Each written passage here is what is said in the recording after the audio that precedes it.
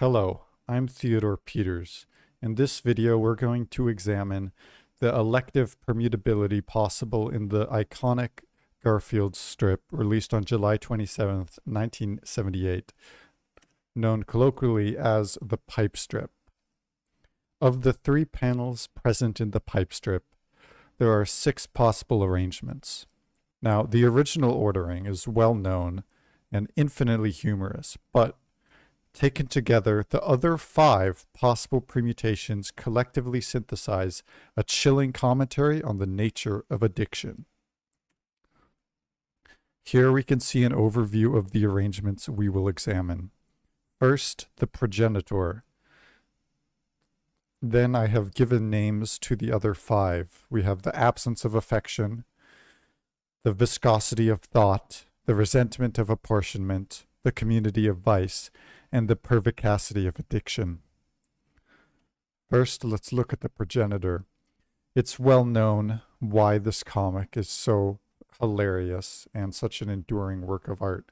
For a fuller analysis, I will refer you to the uh, John D. Bar- B. Barrymore lecture, which will be posted in the video description as well. Here on the left, we see John reading a newspaper, idly searching on the table beside him with his hands.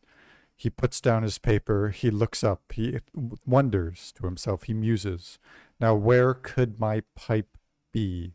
And then the smash cuts to the third panel. We see Garfield is smoking the pipe, while out out from the side, presumably from still from his chair, John calls out, Garfield two exclamation points, Garfield, because he has realized that it is Garfield who has taken his pipe. Of course, this is super humorous because cats don't typically smoke. So the fact that Garfield took John's pipe to smoke it is funny. And then John doesn't realize this at first, but then he realizes it. And that's funny as well. The subversion expectations makes this a sublime piece of comedy. Let's look at this rearrangement, wherein the Garfield smoking has been moved to the second panel. Here we see John still reading the newspaper on the left, groping on the table next to him. But what is he groping for? Surely it can't be the pipe, because he does not wonder about the location of the pipe until the third panel. No, he must be groping for Garfield, trying to pet Garfield. He's desperate for some physical form of affection. And in the second panel, he calls out, Garfield, Garfield, but Garfield is gone. Garfield has taken John's pipe. He has used as a substitute for this physical affection the crux of nicotine. And then in the third panel, we see John affectionless, isolated, and alone, he too is now turning to the use of drugs. He wonders, now where could my pipe be? Now, without the physical manifestation of affection, he's desperate for some sort of dopamine and he seeks the aid of nicotine. In this third arrangement, the viscosity of thought, John first wonders where could his pipe be, and then He's musing it over. He's trying to read his paper, but we see tragically his hand tremoring on the table beside him. This is symptomatic of withdrawal. He's dependent on the nicotine.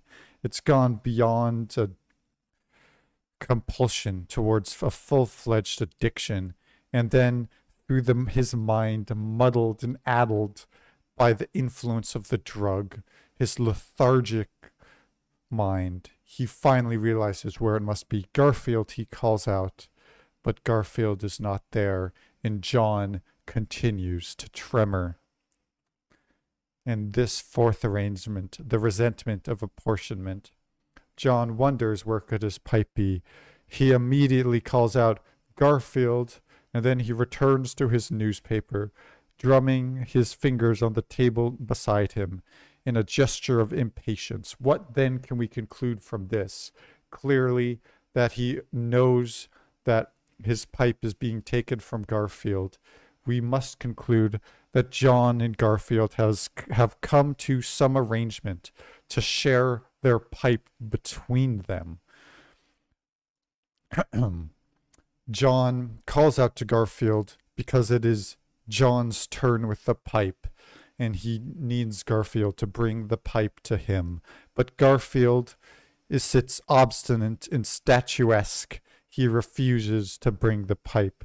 From the anger in John's exclamation, the double exclamation points, we can presume that this is a common occurrence, that when it is John's turn, Garfield is reluctant to relinquish the pipe. But there's more than that.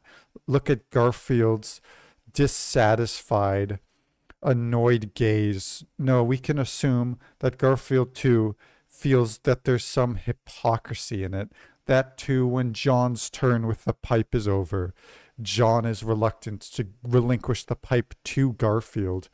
And here we could see how the introduction of this addictive substance and what would otherwise be a peaceable cohabitation creates all of this strife. It creates this enmity between the two of them. So let's move on to the fifth arrangement, E, where we see the community of vice, how the influences of our peers influence us. John, he sees Garfield. He joyously explains, Garfield! It's been who knows how long since John has last met his good friend Garfield. But then John sees that Garfield is smoking, and John thinks to himself. He drums his fingers upon the table and he thinks, Now, where could my pipe be? He sees Garfield smoking Garfield's pipe, and he immediately wonders after his own. This shows how peer pressure is so dangerous and so instrumental to disseminating these addictive tendencies among people. Finally, the f- final arrangement, which demonstrates the pervicacity of addiction. Here, John calls out to Garfield. He's looking over his newspaper. He lays it down and he calls out, Garfield. Why is he calling Garfield? What is he calling Garfield for? Presumably, we can only presume John has found some interesting fact in the newspaper which he wishes to share with Garfield the dissemination of knowledge. He, he desires Garfield too to partake in it. And John calls out because he's doing a favor for his friend. But we could see John's not particularly anxious for Garfield to come. He he says, "Well, Garfield's not coming. I suppose then there's nothing for me to do, but but but no, there is. He's as he gets distracted from the paper, he thinks, "Hmm, where can my pipe be?" Well, Garfield has taken it, but John doesn't know this. Garfield has taken John's pipe and is prioritizing smoking it, enjoying the nicotine over the pursuit of knowledge, one of the most important transcendental goals, I think, of any sentient being. And John, now distracted from his knowledge, distracted from what we must assume he's taken up as a distraction from his addiction and from his dependence on nicotine, cannot help but wonder where could my pipe be?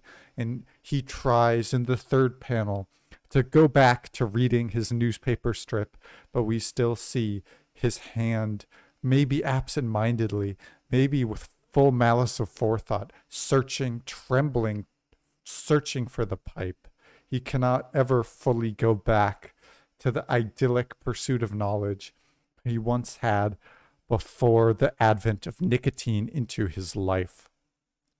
So, what are we left to conclude? The chilling portrait that these five arrangements depict. What are we left to conclude? I think the obvious conclusion is that smoking is bad. There are many further areas of study that have not been examined here. Among them are per pixel rearrangement. Here, we've looked at rearrangement of panels, but one could too reasonably rearrange the individual pixels in the comic strip. Pictured here is one such rearrangement, and this comic strip too is a really wonderful thought provoking piece. And to do a full analysis on it and all of the other rearrangements would be a too momentous task, perhaps, to undertake in this video. In addition, there's a question of reduplication. Here we saw a rearrangement of the panels, but there's nothing left to prevent us from using the same panel more than once. This extends the number of possibilities from 6 to 27. This is one such example. We see John call out Garfield while Garfield smokes a pipe. Then again, Garfield. Then again, Garfield. And through it all, Garfield sits impassive and statuesque, just idly smoking his pipe. So obviously there's a lot to study here. And then, of course, we talked about per pixel uh, arrangement and reduplication, but we can combine the two and we have per pixel reduplication. We have comic strips like this, which just reduplicates a single pixel of Garfield's fur coat across the entirety of the three panel structure. And obviously, comics like this too have a lot of hidden depth that needs to be analyzed. And there's no doubt that Jim Davis kept in mind all of these detailed considerations as he was making this transcendental, perfect work of art, the pipe strip. Uh, if you'd like to cite your this resource, the IEEE citation is as follows. Thank you for watching this video.